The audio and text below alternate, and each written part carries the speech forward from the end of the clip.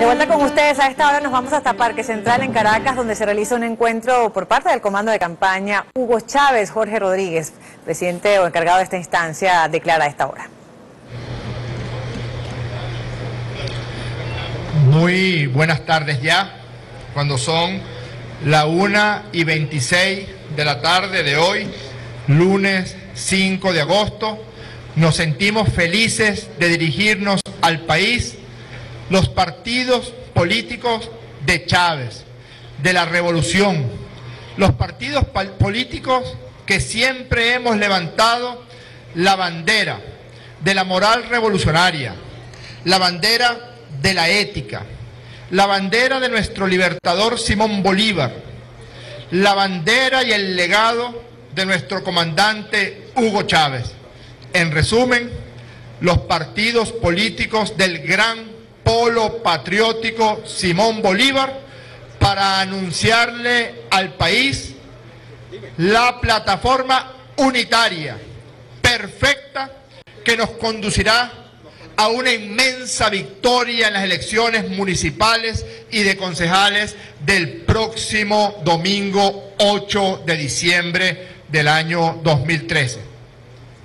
Cuando los sectores de la derecha, secuestrados por una camarilla corrupta, por una camarilla golpista, que solo reconocen aquellas elecciones en las que resultan triunfadores en algunas gobernaciones o en algunas alcaldías, pero que cuando resultan arrolladas, como ha ocurrido a todo lo largo de estos 14 años de revolución bolivariana, Chávez fue el gran campeón invicto de los eventos electorales en Venezuela, pues recurren a la desestabilización, recurren a las eh, torcidas intenciones, recurren al llamado a la violencia, a la destrucción. Ustedes ven que la intención de la derecha, secuestrada por esa camarilla de groseras prácticas políticas y económicas, esa camarilla no ve el evento electoral como un evento relacionado con promover beneficios, promover desarrollo, promover progreso en nuestros municipios, en los 335 municipios. No, ellos quieren, a través del evento electoral, generar desestabilización, generar angustia, agredir a la Constitución de la República Bolivariana de Venezuela. Frente a esa intención, aquí está la plataforma unitaria del gran polo patriótico Simón Bolívar, que iremos unidos al evento electoral del 8 de diciembre del 2013. Aquí está con nosotros el negro Uzcategui, luchador, combatiente, guerrillero de tantas luchas, secretario general del partido Patria para Todos. Está nuestro hermano, el dirigente obrero Wilmer Nolasco, abogado, dirigente obrero y al mismo tiempo secretario general del partido Movimiento Electoral del Pueblo. El concejal del partido de Lina Ron, Humberto Berroterán, del partido UPB, está aquí con nosotros.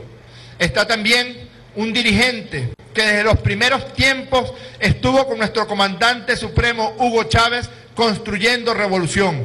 Al mismo tiempo, profesor intelectual, fue nuestro alcalde metropolitano, nuestro hermano Juan Barreto, secretario general del partido Redes.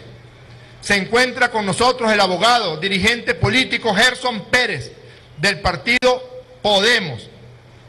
Por el PRT, nuestra hermana de Yanira Vallenilla. Y bueno, estoy franqueado, un poco preocupado, ¿no? Por la... me encuentro flanqueado por dos importantes dirigentes y hermanos del glorioso Partido Comunista de Venezuela, su secretario general, Oscar Figuera, y nuestro hermano, Yul Yabur. Por un joven partido, pero también que, ha, que tiene ya su historia en la revolución bolivariana, por el partido CRB, Ramsés Reyes. Por el partido Nuevo Camino Revolucionario, Eric Ramírez. Por el partido Movimiento Revolucionario Tupamaro, se encuentra con nosotros José Pinto, también con páginas gloriosas en el desarrollo de la historia de nuestra revolución bolivariana. Y también Yul, aun cuando miembro del Buró Político del Partido Comunista de Venezuela, es el coordinador de consejos de partidos políticos del gran polo patriótico Simón Bolívar. Aquí estamos junto con nuestra hermana Blanca Caut, son los dos coordinadores del Consejo de Partidos Políticos del Gran Polo Patriótico Simón Bolívar. Aquí estamos después de la multitudinaria asamblea del Partido Socialista Unido de Venezuela en el Poliedro de Caracas el pasado 6 de junio, en el que nuestro presidente Nicolás Maduro llevó a la asamblea la necesidad de una propuesta unitaria, una propuesta que además pasó por la consulta más amplia de las bases del Partido Socialista Unido de Venezuela, las más de 13.300 unidades de batalla, comandante Hugo Chávez postularon candidatos a las alcaldías, postularon candidatos a los consejos municipales, se elaboró un baremo para evaluar las condiciones del candidato propuesto por las unidades de batalla Hugo Chávez, los partidos aliados, miembros del gran polo patriótico Simón Bolívar, hicieron las consultas en sus instancias de base y el 9 de junio, en el Poliedro de Caracas, el presidente Nicolás Maduro se reunió con la más amplia variedad, el más amplio espectro de los movimientos de la revolución venezolana, aquellos que sentimos a Chávez nuestro padre y que sentimos la revolución bolivariana, la necesidad y la esperanza de una patria para nuestros hijos, para nuestras hijas, de una patria de iguales, de una patria donde la inclusión sea la característica principal. Y en esa Asamblea del Gran Polo Patriótico Simón Bolívar del 9 de junio se aprobó el método unitario que nos condujo después de reuniones, discusiones y acuerdos a esta alianza perfecta con la que vamos a la victoria el próximo domingo 8 de diciembre. Así que derecha enquistada en la dirigencia de la oposición venezolana. A correr piojo que llegó el peine a comprar pargata que lo que viene es Oropo. Aquí vamos, los revolucionarios, los chavistas con nuestro presidente Nicolás Maduro unidos hacia la conquista de la gran victoria el próximo 8 de diciembre. Con mucho gusto contestaremos las preguntas a que hubiera lugar. Bien, la primera pregunta, Luis Ugas de Venezolana de Televisión. ¿Cómo está Luis? ¿Cómo está? Contento, ¿no? ¿Ah? ¿Está contento? Algo. Este, quisiera su opinión sobre el silencio informativo que han tenido algunos medios de comunicación sobre el anuncio que ya ha dado el presidente Maduro en cuanto a las candidaturas por parte del chavismo y este, quisiera su ratificación si en su totalidad el pueblo patriótico está conforme con los anuncios que se han dado o todavía están, pudiera decirse, discutiendo algunas candidaturas a nivel nacional. No, fíjense, hemos logrado un acuerdo para ir en alianza perfecta a las elecciones del próximo 8 de diciembre. Eh, algunos pequeños detalles, porque son 2.743 cargos para concejales y 335 cargos para alcalde, pero en las grandes mayorías estamos dando esta rueda de prensa como ratificación del acuerdo obtenido después del 9 de junio que se reunió con el presidente Maduro en el poliedro de Caracas el Gran Polo Patriótico Simón Bolívar, después del 6 de junio que se reunió en el poliedro de Caracas las unidades de batalla Hugo Chávez del Partido Socialista Unido de Venezuela y desde allí hemos tenido un proceso opino que profundo, que muy enriquecedor de discusión, nutricio de discusión con los partidos aliados, con los movimientos sociales que también han sido incluidos en la discusión para llevar a las mejores mujeres y a los mejores hombres como candidatos a la batalla en esta plataforma unitaria. Hemos notado y tenemos información de que existe una gran preocupación, sobre todo en la camarilla amarilla, en esa camarilla amarilla que ha secuestrado la dirección de la oposición venezolana y que se ha convertido en una verdadera tragedia. Fíjense, aparece un diputado corrupto cobrando cheques con unas cuentas multimillonarias y recurren a la solidaridad automática. Y usted lo ve en los medios de comunicación, se pone una franela con Jesucristo. Bueno, está bien, está bien, se puso a franela con Jesucristo, pero igual es un ladrón, señor. Habrá que llamarlo caifás o algo así. Pero ese señor se robó una plata, recibió unos dineros que eh, le fueron otorgados de forma indebida por particulares. Y eso prefigura delito, sin ninguna duda. Pero va con la solidaridad automática. ¿Qué será lo que Mardo le sabe al candidato perdedor del 14 de abril Capriles Radonsky, porque no tuvieron la misma actitud con Juan Carlos Caldera. A Juan Carlos Caldera sí lo echaron al pajón. Supuestamente lo echaron al pajón, porque dijeron que lo iban a expulsar del partido, etcétera, etcétera. Y ahí está, diputado de ese partido corrupto llamado Primero Justicia. Yo creo que hay mucha preocupación porque lo que se nota en todo el país es la intención de los revolucionarios, la intención de los patriotas, la intención de los que conformamos un nombre que proponemos se llame Gran Comando de Campaña Bolívar Chávez para obtener la victoria el próximo 8 de diciembre, donde confluya el planteamiento, la raíz de nuestra revolución, que se sustenta en el pensamiento libertario, del hombre más importante que haya parido este continente, Simón Bolívar, y con el legado de aquel que rescató al libertador Simón Bolívar del olvido al que lo tenían sometido las oligarquías groseras que eran dueñas de los gobiernos de la Cuarta República. No eran dueños del pueblo, pero sí eran dueños de los gobiernos de la Cuarta República. El legado de nuestro comandante supremo, Hugo Chávez, es el que llevamos como portaestandarte. El pensamiento libertario, la libertad que sembró todo este continente, Simón Bolívar, lo llevamos de estandarte para las elecciones del 8 de diciembre y estoy seguro, estoy seguro, anótenlo, que vamos a obtener una inmensa victoria. Y volverá el candidato perdedor del 7 de octubre, del 16 de diciembre y del 14 de abril a morder el polvo de la derrota y batirá su propio récord Guinness, porque ha batido récord Guinness de dos derrotas seguidas en menos de seis meses. Pues tendrá un nuevo récord Guinness que va a ser cuatro derrotas sucesivas. Le ganamos el 7 de octubre, le ganó el comandante supremo, el campeón de las victorias electorales Hugo Chávez. Le ganamos el 16 de diciembre 20 de 23 gobernaciones. Le ganamos el 14 de abril con nuestro presidente Nicolás Maduro. Y no lo dude, le vamos a volver a ganar el próximo domingo 8 de diciembre. Siguiente pregunta. La siguiente pregunta, Gabriela Oneto de Globovisión. Hola, buenas tardes. ¿Cómo en primer lugar, chévere. Me, me dijo que fuera a Globovisión y fui la semana Sí, sí, pasada. Exactamente. Eh, me gustaría saber eh, si tienen, digamos, ya listos las candidaturas, por lo menos para las capitales de Estado, si podría adelantar algunos de estos nombres de este listado. Eh, y lo otro que me gustaría saber, bueno, evidentemente ya el presidente de la República lanzó algunos nombres el fin de semana.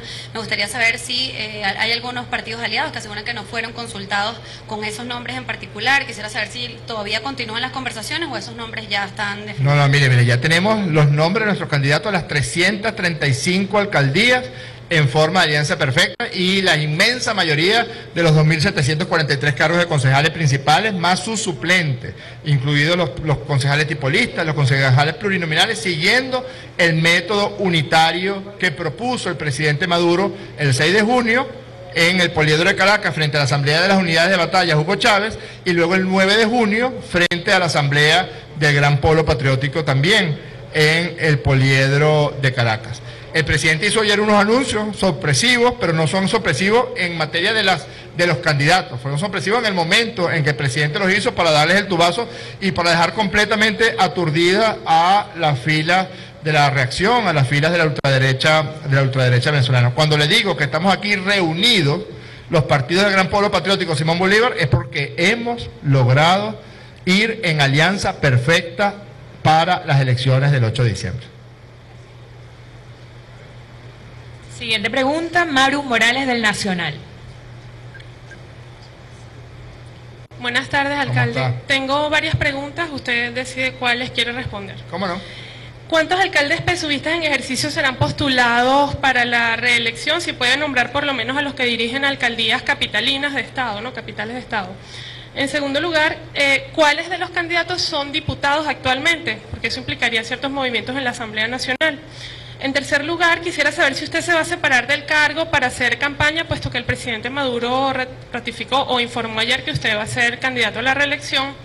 Y por último, entre los anuncios que hizo el presidente Maduro el día de ayer, generó bastante reacción, bueno, las primeras reacciones que se dan siempre en redes sociales, sobre todo por la hora, y durante el día de hoy ya ha habido los primeros debates en radio, en televisión, particularmente sobre las candidaturas de Winston Vallenilla y el Potro Álvarez. Quisiera, eh, por favor, que usted explicara a la opinión pública cuál es el trabajo social que tienen estos dos dirigentes del PSV y su formación política, porque se les ha generado muchas críticas, sobre todo en torno a eso, teniendo en cuenta que el partido y los aliados tienen dirigentes altamente, digamos, conocidos por su trayectoria política. Cómo no, mire, en primer lugar le voy a decir que en las próximas horas se harán anuncios. El presidente Maduro hará algunos anuncios, sobre todo de las ciudades, de las alcaldías capitalinas. Luego estableceremos una estrategia de, de información a través de las páginas web, porque, insisto, son muchos candidatos alcaldes, los dirigentes regionales también harán los correspondientes anuncios. Estaremos toda esta semana haciendo los anuncios de las 335 candidaturas a alcaldía y de las candidaturas a concejales principales y suplentes. Eso es en las próximas horas. Esperamos también que el presidente Maduro haga algunos anuncios sobre esas candidaturas unitarias del gran polo patriótico Simón Bolívar. Eh, así que no lo voy a tubiar. ¿no? ni voy a modificar la estrategia que ya tenemos establecida. Nosotros aspiramos que las candidaturas unitarias sean inscritas entre el jueves y el viernes de esta, de esta misma semana. Lo que establece la ley es que, ah, por cierto, permítame leer eh, un Twitter del presidente Nicolás Maduro, arroba Nicolás Maduro. El gran polo patriótico anuncia, anuncia alianza unitaria para el 8D. Lo felicito, compatriota. Es el mejor homenaje al comandante supremo. Venceremos. Y otro Twitter. La unión de las fuerzas políticas es vital para derrotar la amenaza de la derecha fascista y es eso lo que está en juego. Está en juego la patria, está en juego la paz, está en juego la democracia, está en juego nuestra constitución. Ahora la agarró este señor, el candidato perdedor del 14 de abril y futuro candidato perdedor del 8 de diciembre. Ahora la agarró con la constitución a agredir la constitución, a querer modificar la constitución. Como un solo hombre y una sola mujer, el pueblo de Venezuela sale a la calle a partir de este momento a defender la constitución que el pueblo se dio el 15 de diciembre de 1999. La constitución que ayudó a escribir de su puño y letra Hugo Chávez, la constitución que propuso Chávez al pueblo de Venezuela y que fue aprobada con más del 83% de los votos válidos en ese plebiscito del pasado 15 de diciembre de 1999. Usted me hace una pregunta particular sobre la reelección, como usted sabe en la ley, yo estoy optando para la reelección, por tanto no me tengo que separar de mi cargo de alcalde y le vaticino una inmensa victoria de las fuerzas revolucionarias en la mayoría de los municipios capitalinos. Vamos a ganar el municipio Libertador, pero al fascista ese, que tiene destruido el municipio Sucre del Estado Miranda, lo vamos a sacar de allí con nuestro candidato, el Potro Álvarez. Por cierto, noté como cierta, cierta actitud desdeñosa. ¿Qué estudios tiene? ¿Cuál es la trayectoria? Yo quiero que usted me diga cuál es la trayectoria como alcalde, la, la, trayectoria como alcalde de Ocariz, que recoge la basura una vez cada dos semanas en los sectores populares de Petare, José Félix Riva, La Bombilla, etcétera. Le vamos a ganar al Vago Mayor para que usted sepa que este año ha salido 16 veces, 16 veces de Venezuela. Yo no sé qué se le perdió la alcaldía mayor en Nueva York, ha ido tres veces para Nueva York este año. No sé qué se le perdió en Madrid, no sé qué se le perdió en París y en otros países de Sudamérica a donde va a conspirar contra Venezuela. Ahora, dicen que en Antíbano no lo han visto nunca. Dicen que en los eucaliptos no lo han visto nunca, ni lo quieren ver. A ese le va a ganar Ernesto Villegas, anótelo, anótelo, anótelo. Y después el 8 de diciembre anoche comparamos datos. Es un trabajador de la cultura venezolana, es, es un artista, pero al mismo, tiempo al mismo tiempo que es un artista tiene una sensibilidad y una preocupación. Y cuidado, cuidado, a mí los números me dan ganando también en Baruta, ganando en el Atillo, ganando en los Teques con ese profesor universitario, universitario y exministro de Chávez, Francisco Garcés. Es decir, vamos por una victoria rotunda en toda la línea el próximo 8 de diciembre. Y su última pregunta, bueno, ya se la contesté entonces no nos va a decir como que algunos nombres ya, sino que va a dejar el anuncio para el presidente. En las próximas horas van a haber anuncios, sin duda. Una última, ya que fue Séptima tan rápido, pregunta. Sí, fue tan rápido. Este, los, los, integrantes de los partidos aliados se van a incorporar al comando de campaña Hugo Chávez. Gracias por la pregunta, una muy buena pregunta.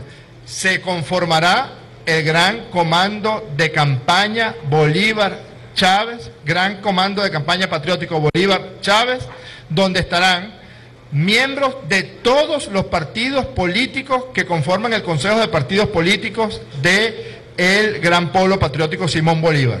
Es decir, cada uno de los secretarios generales, de los representantes de los partidos de esta alianza perfecta, pasan a formar parte del gran comando de campaña unitaria. Gracias por la pregunta. Bien, cerramos con el compañero Lisandro Rojas de YBKE Mundial. Muchísimas gracias. Buenas tardes, alcalde. ¿Cómo, está?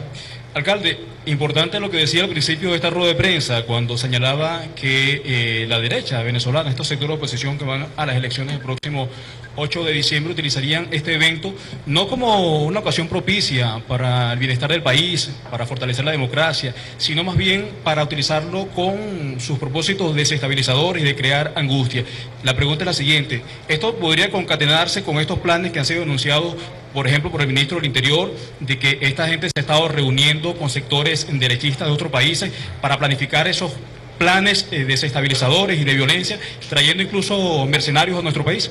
Mire, no tengan ninguna duda de eso. No tengan ninguna duda de que la verdadera tragedia de la oposición venezolana es que su dirigencia ha sido secuestrada por el sector más corrupto, el sector más oscuro que haya conocido la historia política de este país, que no respetan en modo alguno las reglas del juego democrático. Aquí alguien se puede preguntar por qué razón el señor Capriles reconoció el resultado de la elección de la gobernación de Miranda el 16 de diciembre y no reconoció la elección presidencial del 14 de abril.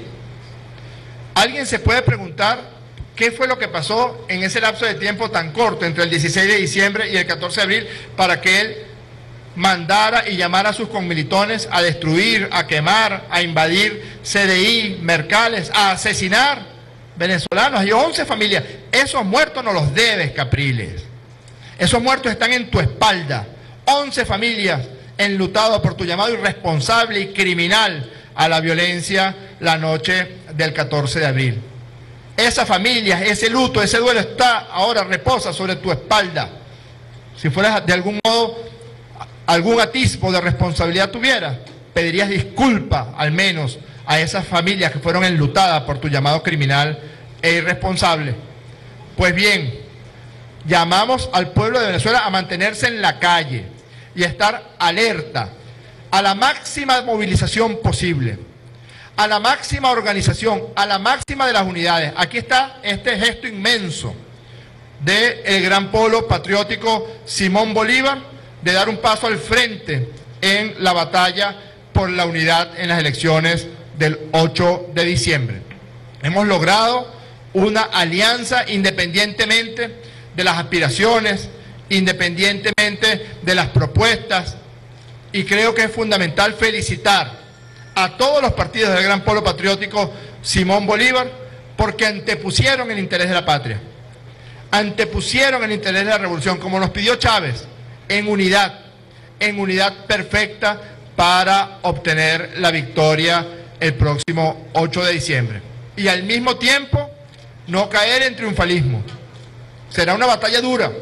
El enemigo acostumbra a hacer campañas de las más sucias. No conozco, no recuerdo una campaña más sucia que la que protagonizó el candidato perdedor Capriles Radonsky para las elecciones del 14 de abril.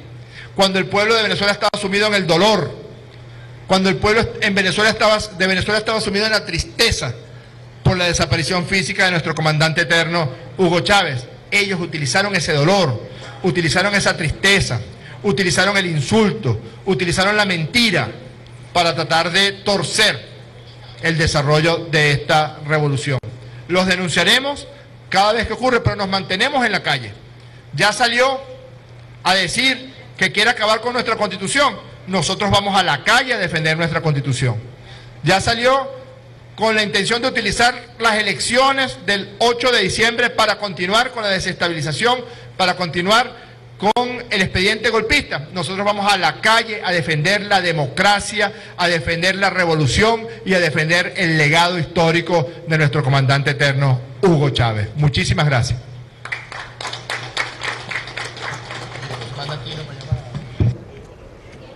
Bien, teníamos allí las palabras de Jorge Rodríguez, jefe del comando de campaña Hugo Chávez, que ya con el inicio de toda esta jornada por los comicios del próximo 8 de diciembre va a ser comando de campaña Bolívar Chávez, donde estarán aliados del Gran Polo Patriótico conformando esta instancia allí. Bueno, veíamos parte de los anuncios, destacaba que han logrado un acuerdo para ir en alianza y para la victoria perfecta y también han presentado una plataforma única para la elección municipal basado en esa consulta desde las bases donde han logrado allí, bueno, lograr dar los anuncios que ustedes escuchaban hasta hace pocos instantes.